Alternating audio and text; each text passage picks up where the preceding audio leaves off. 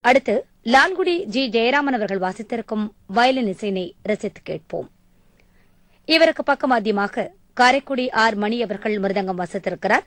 D. H. Vinayakram அவர்கள் கட்டம் வாசித்திருக்கிறார்.